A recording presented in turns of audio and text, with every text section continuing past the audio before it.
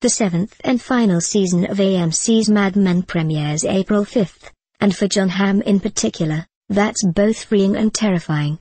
The remaining seven episodes were shot in the summer of 2014, and according to the actor, no one understands a prolonged goodbye quite likes Bryan Cranston, who played Walter White on AMC's other flagship drama, Breaking Bad.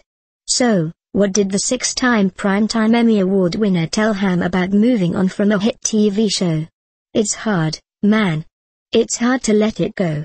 It'll hit you a couple of different ways at different times, Hamm, 44, says in GQ magazine's April 2015 issue. It's relatable advice, sure, but not exactly helpful. Hamm compares the series end to another milestone in most people's lives.